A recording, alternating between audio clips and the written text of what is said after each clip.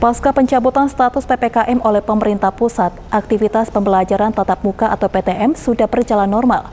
Ini seperti terlihat di salah satu sekolah dasar di Kabupaten Batanghari yang tidak lagi membatasi jumlah siswa untuk mengikuti pembelajaran tatap muka.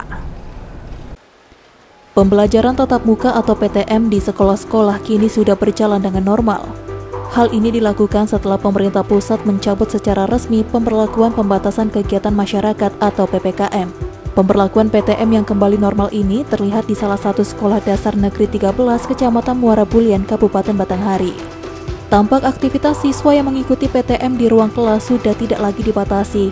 Wakil Kepala Sekolah Dasar Negeri 13 Muara Bulian, Halima mengatakan, PTM kembali normal sejak siswa masuk sekolah tertanggal 5 Januari 2022 lalu.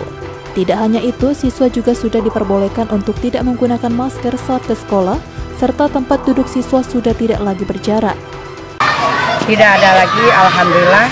Bersyukur kita sudah dicabut PPKM hmm. uh, oleh pemerintah kita.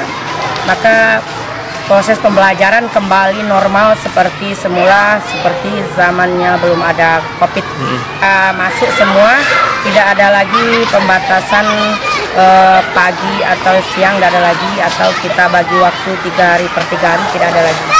Selain itu, salah seorang siswa Arkan mengaku senang bisa kembali bersekolah dengan tetap muka.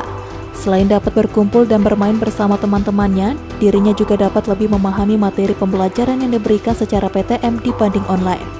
Kali normal, sekolah lagi, gimana perasaannya? Enak. Seru. Enak, seru.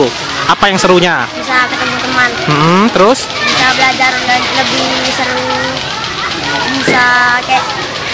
Hmm. belajar dengan tidak apa? Kayak belajar tanpa gangguan. Tanpa gangguan. Lebih mengerti mana kalau untuk belajarnya? Kalau tatap muka atau lewat HP? Selamat Triadi, Cek TV, melaporkan.